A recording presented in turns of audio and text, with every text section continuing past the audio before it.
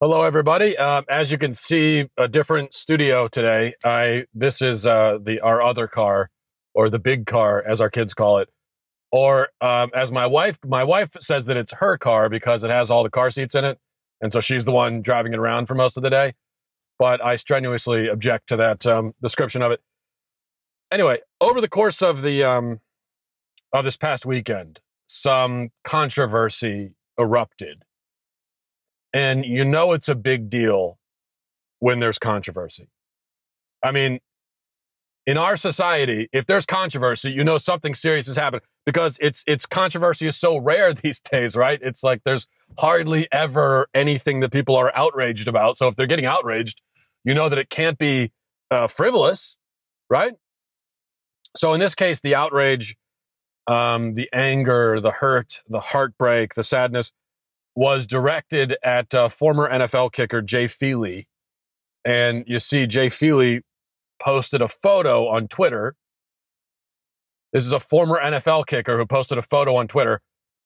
So we know, as I said, we know it's serious business. And the photo depicted him posing with his daughter and her prom date. And Feely has his arm around his daughter, kind of protective, in this sort of protective way and then his other hand is holding a gun. a gun. A, sh- a shooty thing, okay? A shooty, shooty, dangerous thing. And um, so this is a classic dad joke. I mean, this is, it's even cliche. And it's a dad joke that 10 years ago, nobody would have noticed or really cared. Maybe a few people would have laughed. Most people would have rolled their eyes because that, as a dad, I know that that's the really the appropriate response to a dad joke is just to roll your eyes and move on. Um, but this is not 10 years ago. This is 2018. And um, so in 2018, the photo went viral with thousands of people expressing their righteous indignation at this terrible, awful, offensive photo. Now, before I go any further, I need to stipulate that when I talk about, when I say people were outraged and they were angry, just keep in mind that there are really, there are quotes around that. There are, sar- are sarcastic air quotes around outrage and anger. Because as, as I've said before, um, the, the, the main thing about the collective outrage that goes on is that there's very little authentic outrage in it. I mean, I don't think anyone really actually cared that much about what Jay Feely posted. Most of the things when we get this, this huge outrage, everyone's so angry. Most of the people who are outraged and angry, they are not really outraged or angry. What they're doing is they're just, they're just seizing on this opportunity to make a point and to destroy somebody. And we know that that's not, that's, that's, uh, that's been going on since the dawn of time. What makes it different now is that it used to be, you know, if you were a a uh, a politician or a political figure of some kind, and you said anything at all, then yeah, you're gonna have people from the other side who try to take your words and use it against you to try to win, right? Um, and I think it, it used to mainly be reserved for people like that, people who are in controversial jobs or jobs that inherently involved controversy. But now what we find is that anybody at all, it's just any, any old average person, doesn't matter what you do for a living, doesn't matter who you are, doesn't matter what side you fall on, it doesn't matter if you're completely apolitical. Anything, just, just anyone at all. If you put something out there publicly, people will seize on it and try to destroy you to the point where even an NFL kicker, he's just a retired NFL kicker. I mean, even if what he did was terribly, you know, this, even if that photo really was legitimately awful, which of course it isn't, but even if it was, who cares? It's just an NFL kicker. What does it matter? I mean, what, what, why would anyone care what he posts? Just let him be. Just let it, just whatever. So he's got to, who cares? There's what, what are you hoping to win or accomplish by taking this and making a thing out of it?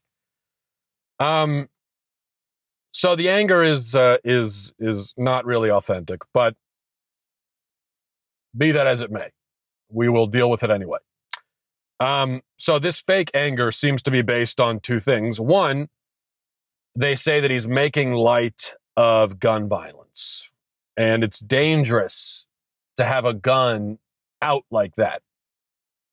They said because I saw a lot of people say, if that was my son, I would be so I would I would be so angry that he put him in harm's way with that gun because these people think that a gun through some mysterious gravitational force could actually load itself and then point itself and and and uh, and pull its own trigger. That's what they think could happen.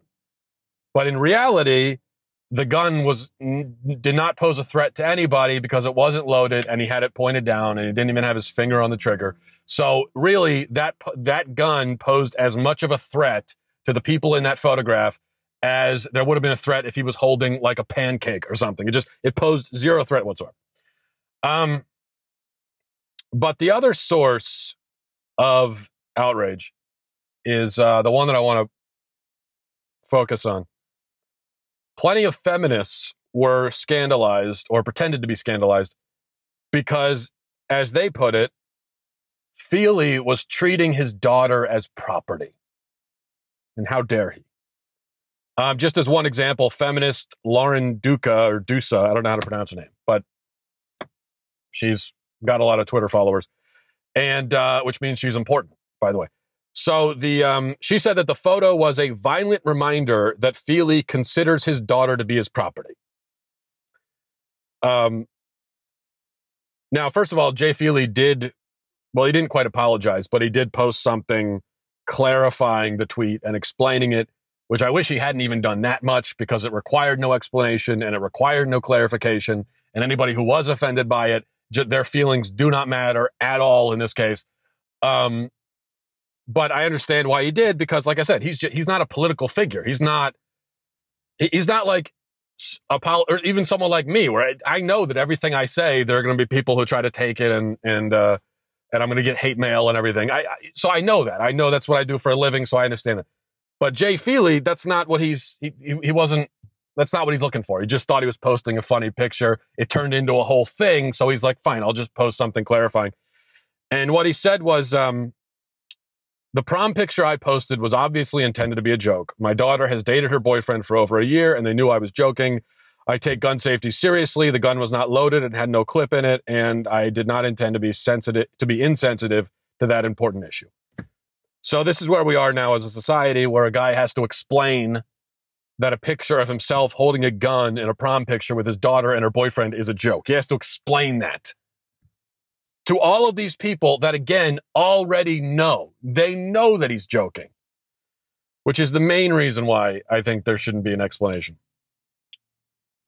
But putting all that aside, um, I think what we really see here, more than an attack on guns, we see an attack on the role of fathers because it's a it's a father's job to protect and defend his family and he ought to be protective and of his daughter. He ought to be protective of her dignity and protective of her of her innocence.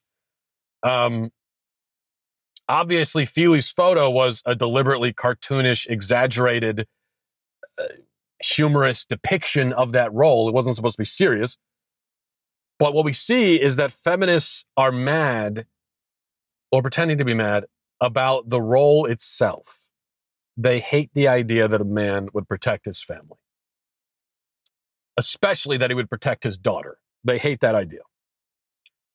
So, this again goes back to the piece that I wrote a few weeks ago about the challenges that men face in this culture, um, where a man really can't win because a man who is not there for his family, a man who does not protect his family, does not defend his family, a man who has no problem with his daughter shacking up with any old scumbag, uh, that sort of man is still rightfully derided and shamed in our culture. But a man who does the opposite, the opposite sort of man, is also derided and shamed in our culture. So again, men, men are left saying, well, what do you want me to do? What exactly am I, how am I supposed to be? What would make you people happy? Now, I don't ask that because I don't care what makes anyone's ha- anyone happy. But a man who is um, concerned with how society views him is going to be very confused because no matter, literally, no matter what he does, uh, he's going to hear it. And I'm not just drawing all of this from this one reaction to this picture. Uh, I'm drawing it from the from society in general, but there are also plenty of other examples. For instance, um, just look at if you really want to get a headache. Okay, if you if you if you feel like having a migraine, here's what I recommend: go on Google and type in father daughter dance and then just see all the blog posts that pop up talking about how problematic and weird and creepy and old fashioned and patriarchal these father daughter dances are. Um, because he, this is a good example of how the role of the dad has become this has become this evil, creepy thing. Here's a bit from an article on uh, romper.com titled Father Daughter Dances Are Anything But Innocent. Let me just read you a couple, a few sentences.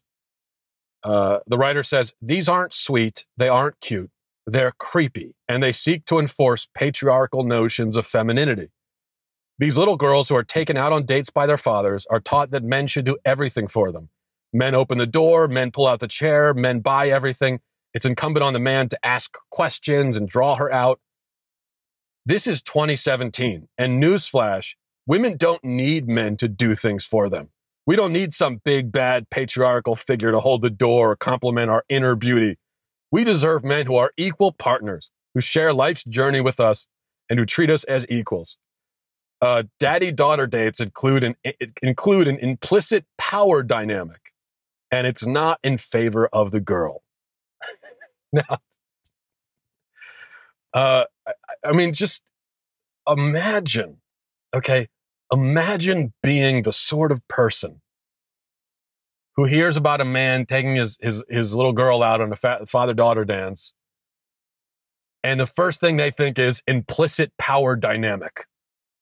Or imagine being the sort of person who sees this, you know, funny, nice, cliched photo of Jay Feely and sees it as some kind of patriarchal conspiracy and that he he thinks he owns his daughter like a slave. I mean, this is what I, re- I you know, I, I, I honest, I pity. I really have a lot of pity for these people, for feminists and all these people in our culture, because they live in such a miserable world.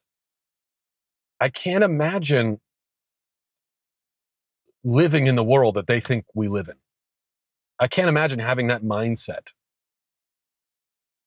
Um, so the question is why? Why are so many people so hostile to the idea of a man being a figure of protection or security or authority in the home? And I think there are two reasons. The first reason is pretty simple. We have to remember that many feminists are feminists because they had no father in the home. At least they didn't have a good father. Uh, that's not the case in all for all of them, of course. It, it's theoretically possible that a good father could produce a feminist. Very unlikely. Probably, if your daughter ends up being a radical feminist, it, it means that you, as a dad, screwed up big time. Most likely, but I mean, it is. I'm saying it's theoretically possible you could have a good father because p- people, you know, human beings make their own choices, and even a, a woman who's raised right could end up, um, unfortunately, going down the path of feminism. So most of them had, one way or another, absent fathers. And there's this certain kind of childish self centeredness that's really common in our society where people insist on spreading around their misery. And they came from broken homes, so they must attack and hate homes that are not broken. It's envy. And it even goes a little bit beyond envy, actually, because a really envious person knows that he doesn't have something, and so he covets the people who do have it. But here, though, what we, what we see so often in our society are people who don't have a certain good thing, in this case, an intact family, and so they insist that the thing must not be good. So rather than trying to have what other people have, they, they say, well, nobody should have it. Um, but second, the reason why people, especially feminists, lash out at men who protect and provide is is really this. And I've said it before. Feminists they don't really hate masculinity. I think we have it wrong. We don't really understand the motivations behind modern feminism. And I and I say it myself, just kind of for la- just kind of for the sake of argument or just it, sort of laziness, I'll say, well, feminists hate masculinity because in a sense they do. But I think even deeper than that, they, they actually idolize masculinity. So it's more accurate to say they hate men who are masculine because they themselves want to be masculine. It's masculinity itself is what they idolize. They want to be that. So they say, well, we don't need no man to protect us. This is 2018. We don't need that. Because they have idolized the ability to protect. They have taken this and decided that, well, this is everyone should have that ability. Um, they want it for themselves. The kind of physical masculine strength that a man has, they want it. They hate it when men show it because they want it. They have idolized it. They have, they have decided that masculinity is really the height of existence. And that's why you get all these silly movies with the kick butt female action heroes who go around beating up men and everything. Um, and it's just, I, again, it's kind of this silly, childish thing that feminists do where they say, well, men have all the action heroes. Now we want some. Well, one of the reasons why typically men are the action heroes in movies is because men are the action heroes in real life. And you're simply not going to get a woman who's running around just hand to hand combat, beating up um, a bunch of strong, beefy men. That's just, that's, that's not going to happen in real life. And yeah, it is a movie, so fictional things can happen. But, but generally, you, you want a movie, even an action movie, to be grounded in some sense in reality. Um, so that's why typically you don't have as many movies like that. But feminists covet the strength of men, they covet masculinity itself, and they want to have it. Or to use the common phrase now, they want to appropriate it. Um, which is why, if a woman had taken that exact same photo that Jay Feely took, holding the gun and everything, feminists would have celebrated it. They would have said it was the greatest thing ever. Because they don't hate toxic masculinity. They just hate that men are so much better at being masculine. And they think they're in a competition with men. Really, in the end, we should stop saying that, that feminists hate masculinity what they really hate is femininity. That's what they hate. They hate themselves. They don't want to be themselves. They want to be men. And so they hate men who are men um, because they see it as some kind of personal attack on them. So that's what lies underneath all this, uh, all this controversy which, as I said, it's not even a real controversy. So maybe I didn't even need to spend 20 minutes explaining it, but I just did. So hope you enjoyed it. Uh, I'll talk to you tomorrow. Have a great day, everybody.